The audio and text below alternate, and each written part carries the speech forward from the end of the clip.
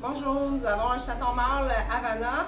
Euh, euh, c'est le chaton mâle, dans le fond, avec collier vert euh, de la portée de Carmina. c'est un chat qui par rapport à sa portée, c'est le plus gros et le plus grand de sa portée. C'est un chat qui a une très bonne constitution.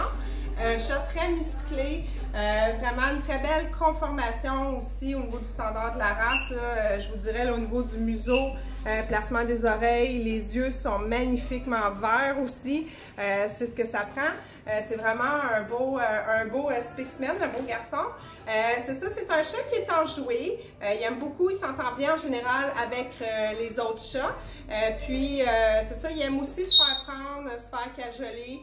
mais c'est un chat aussi qui va avoir quand même, qui va être réservé. C'est-à-dire qu'il y a des moments où, ce que, bon, il va vouloir être plus en retrait ou faire ses petites affaires. mais c'est ça, en général, c'est un chat qui vient souvent vers nous. Comme là, il ronronne, il est dans mes bras, je le flatte, il apprécie, il est content. Euh, donc, euh, c'est ça, c'est vraiment un très bon garçon, euh, comme je, disais.